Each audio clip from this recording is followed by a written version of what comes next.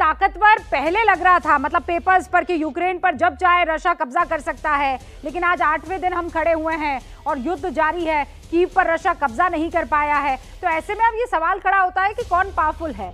आ, युद्ध में तबाही में दोनों देशों के अपने अपने दावे हैं। पहले रूस का दावा देख लीजिए। यूक्रेन के 2870 सैनिक हमने मार गिराए हैं। ये रशिया दावा कर रहा है। यूक्रेन क्या दावा कर रहा है कि रूस के 9000 सैनिक हमने मार गिराए हैं? युद्ध की तबाही के बारे में बता रही हूँ आपको। रूस फिर ये दावा कर रहा है कि हमने बासठ लड़ाकू विमान जो है वो ध्वस्त कर दिए। यूक्रेन क्या दावा कर रहा है कि 30 लड़ाकू विमान हमने तबाह कर दिए हैं? यूक्रेन कहता है रूस के 30 और रूस कहता है कि हमने यूक्रेन के बासठ ध्वस्त कर दिए हैं। 606 टैंक बख्तरबंद गाड़ियाँ, रूस ने दावा किया, यूक्रेन की हमने तबाह कर दी है। यूक्रेन क्या दावा कर रहा है? 1117 टैंक और बख्तरबंद गाड़ियों को हमने तबाह कर दिया है। दोनों मुल्कों के अपने अपने दावे हैं, यहाँ पर देख लीजिए।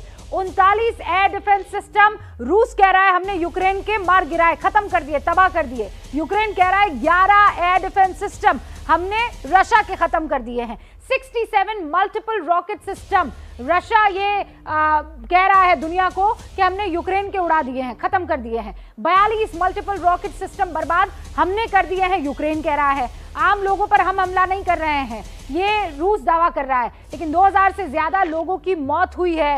ये दावा कौन कर रहा है? यूक्रेन कर रहा है। मेरे सारे सहयोगी यहाँ पर मौजूद हैं। खास मेहमान, रक्षा विशेषज्ञ यहाँ पर मौजूद हैं। जरा उनसे इस बारे में पूछ लेते हैं। ये सारे जो दावे हैं, इन दावों को लेकर आप लोग क्या सोचते हैं? जनरल कुलकर्णी, आपसे शुरुआत कर रही हूँ। ये देखिए, जैसे मैं आपको रूबिका बता रहा था कि हर जब इस तरह की लड़ाई होती है हाँ। दावे किए जाएँगे क्लेम्स काउंटर क्लेम्स किए जाएँगे हम लोगों ने we have to take it with a pinch of salt लेकिन इस बात को ज़रूर दर्शाता है कि लड़ाई हो रही है। ये कहना कि Ukraine would be a walkover वो नहीं है। और ये इस बात को क्यों मैं कह रहा हूँ कि Ukraine can be a walkover Ukraine भी विश्व का टॉप टेन डिफेंस एक्सपोर्टर है। अगर वो दुनिया का सबसे बड़ा रॉकेट लॉन्चर मैन्युफैक्चर है टैंक्स बनाता है एयरक्राफ्ट बनाता है न्यूक्लियर की टेक्नोलॉजी है उसके पास। तो ऐसे नहीं है कि यूक्रेन जो है स्पेंट फोर्स है। यूक्रेन में काफ़ी दम है। और वही नहीं, और रूस भी ये दिखाना चाहता था विश्व को कि वो भी स्पेंट फोर्स नहीं है, उनमें भी दम है। और आज की तारीख में तीस नाटो देश हैं एक तरफ़ एक तरफ़ अकेला रूस खड़ा है, पर रूस आँख से आँख डाल के सबके सामने खड़ा है। और कोई भी रूस को सिर्फ़ अपने यूक्रेन को आश्वासन दे रहे हैं सहानुभूति दे रहे हैं पर कोई भी हिम्मत नहीं कर रहा है यूक्रेन के लिए वहाँ पे जाकर के लड़ने के लिए। ये हम्म। क्या दर्शाता है कि और उसके बावजूद यूक्रेन को ये रूस को भी लगा कि शायद यूक्रेन क्योंकि संबंध ऐसे हैं दोनों तो देश एक ही भाई हैं। भाई जनरल फिर इस ऐसे में सवाल ये खड़ा हो जाता है और ये ये ये कई लेखों में आया है कई रक्षा विशेषज्ञ इस बात की तरफ़ इशारा कर रहे हैं। कि रूस की शर्तें यूक्रेन को आज नहीं, कल माननी माननी है। तो क्या इस वक्त जेलेंस्की जो हैं, वो अपने मतलब के लिए पूरे के पूरे राष्ट्र को तबाह कर दे रहे हैं? ये ऐसे सवाल उठ रहे हैं? बिल्कुल बिल्कुल। रूबिका, ऐसे है, जेलेंस्की में जोश है, होश नहीं है।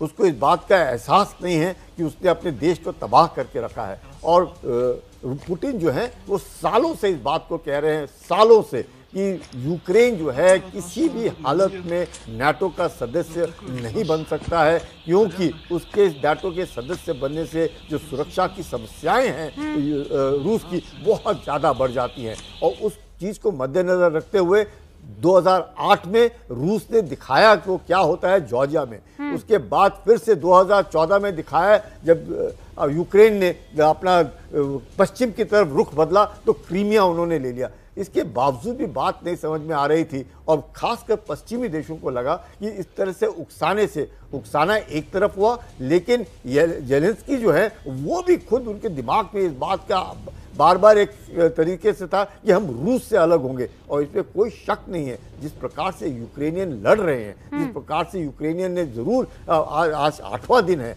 और हम लोग कह रहे हैं कि दसवें दिन बारहवें दिन अगर घुटना नहीं टेक रहा है चाहे कुछ भी हो मकसद ये है कि यूक्रेन कड़ाके की टक्कर दे रहा है रूस को और रूस भी इस बात को जानता है कि यूक्रेन के ऊपर केक वॉक नहीं है हम्म। और यही कारण है कि कीव को लेने से पहले ओके खारकीव को उसने तबाह करके रखा है और बार बार ये वार्निंग तो मिल रही है, है?